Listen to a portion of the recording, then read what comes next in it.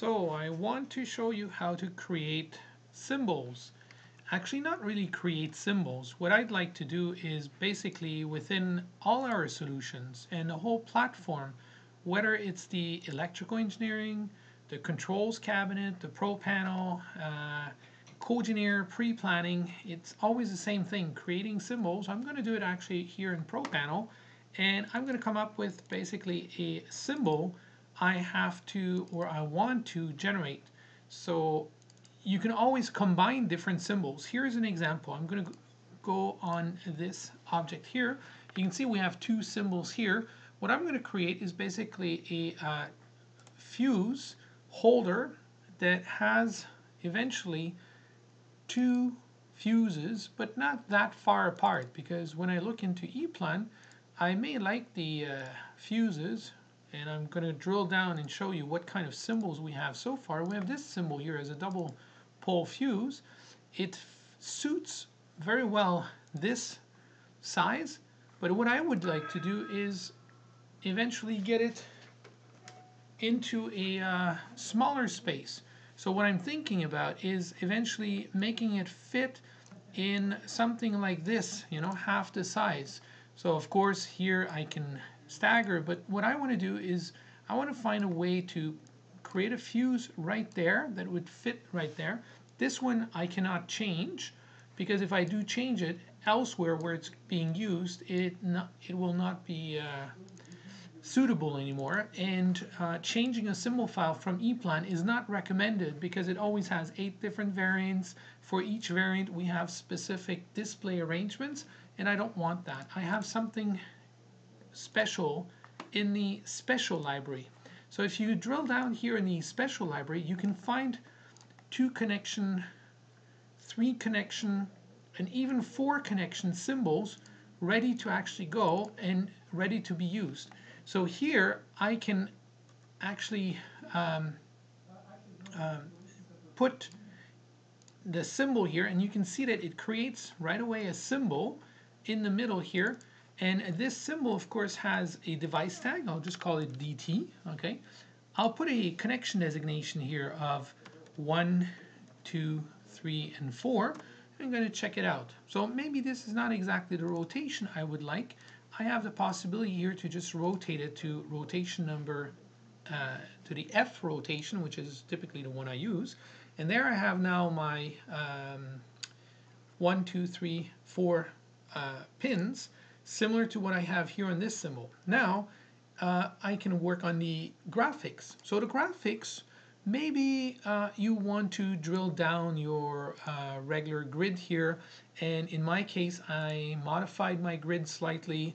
I made it 0.5 millimeters. So this enables me to just draw a, the exact symbol. I can always look at what they've done in the past and just, you know, draw it here so, okay, this is what I want to do. I want to put in a rectangle. The rectangle is not going to be too big. I'm going to use the size that I see here on the right hand side.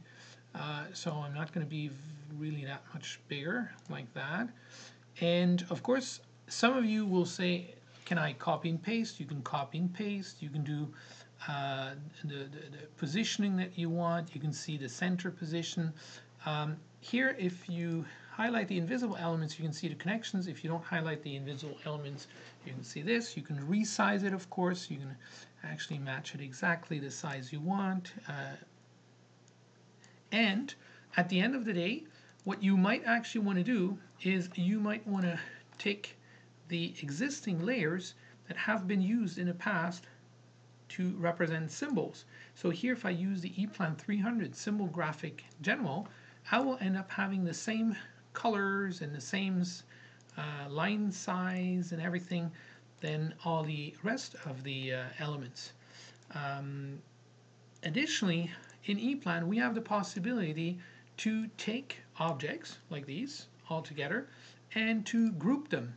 Once they are grouped, you can always individually get to one of the items by just clicking on the item itself. And here in this case, uh, let's say you, you have a component that you make a little bit bigger, hit the shift key and then you can um, make it bigger individually. You can also go here under option, consider grouping. When this is unchecked, each element is again on its own, right? So you can remove or realign it or change the length or whatever. Uh, when you turn that back on, the consider grouping, well then it works again like one single object. Now I'm going to spend a little bit of time in checking out how the display is done. In this case here, the display has been split in two sections, one um, for the technical characteristics, one for the device tag. I'm going to do here the same thing, 0, 4, above, lower center. So which means I'm going to go in here under the display and the display I just eliminate what's there and I start from scratch. So the first thing I want to show is the displayed DT and I will position it same as the other one at 0 and 4 inches and the um, stacking or docking as we call it will be above. So we stack other properties that are docked to it above this one and it will be of course lower center which makes most sense. There we go. That's the first one. Then we will add the technical characteristics. Technical characteristics um, has a different position. That one here, this one, I will place it with the upper center as a center point. The other one here, to start with, will be below. We'll have a position uh, that is uh, centered around the lower center.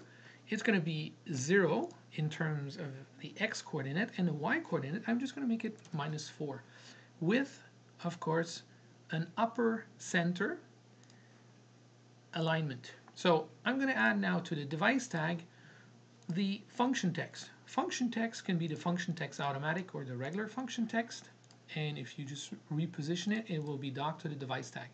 This one here typically has the engraving text attached to it, uh, has eventually some uh, uh, cross references attached to it, etc. It's up to you to decide what exactly you want to attach to the technical characteristics. You can always close this very quickly and compare to an existing symbol and say, oh, we have the mounting site, engraving text, supplementary field, etc., and add those ones. An interesting one to remember is to always consider adding the block property. It's a very special one. I'm not going to detail out what that one does, but it's good to have it there also because special uh, features are actually used here with the block property.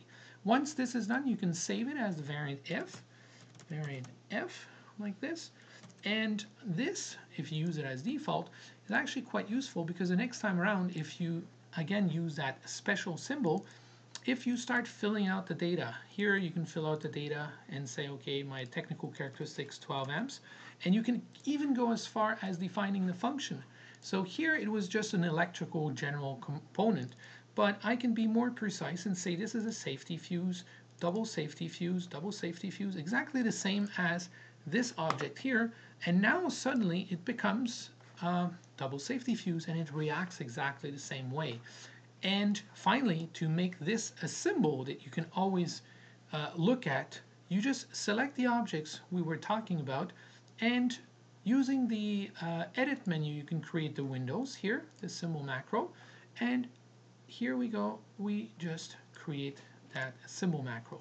The name of the symbol macro, symbol macro name dot ems and you have a symbol macro created. You could, of course, take, take this element, rotate it, and have different variants created. You can even go as far as a regular macro, even attach a part number if you wanted to. If you make it a main function, you can actually attach a part number.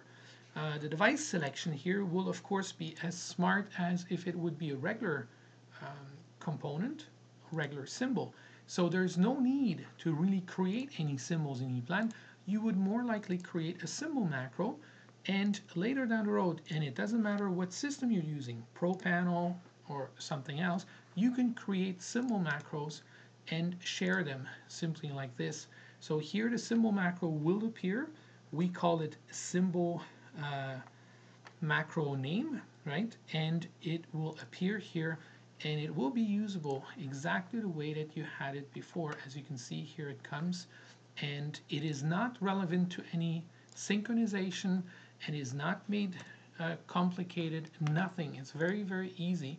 Here, of course, I have the revision markers on top that actually mark it up. And there we go. So this was how we create a symbol in ePlan. And of course, this would connect the way that regular symbols do. So if I take this device tag, put it in here, take these ones, just move them up as I expect, there you have your connection and your new symbol.